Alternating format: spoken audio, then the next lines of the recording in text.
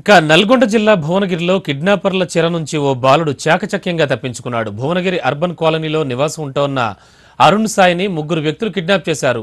కారులో అతను తీసుకెళ్తుండగా రాయగిరి దగ్గర వాహనం ఆగిపోయింది. బాలుడు వాళ్ళ దగ్గర నుంచి తప్పించుకుని స్థానికులకు సమాచారం ఇచ్చాడు. వాళ్ళు బాలుడి తండ్రికి ఫోన్ చేశారు. ఆయన పోలీసుల సాయంతో బాలుడిని ఇంటికి తీసుకొచ్చాడు.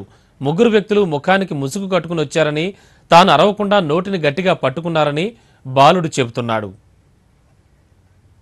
మార్నింగ్ లేచి వాకింగ్ కానీ వస్తుంటే వచ్చి వ్యాన్ వెనకలకి వేసి ముగ్గురు దిగి మూడు పట్టుకొని తీసుకొని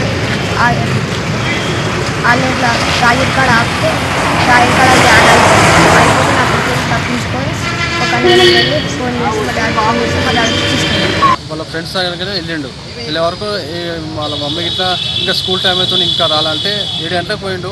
ఎనిమిదిన్నర అవుతుంది. ఎక్కడ పోయినా అక్కడెక్కడ చూసినా. వస్తాడేమో అనుకున్న ఎనిమిది ఎనిమిదిన్నరకు ఫోన్ చేసిండు.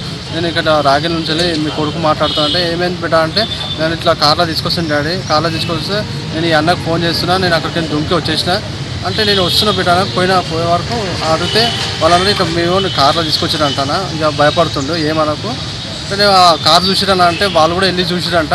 అయితే లేదా నా కార్ ఇక్కడ? కార్ అయితే లేదు.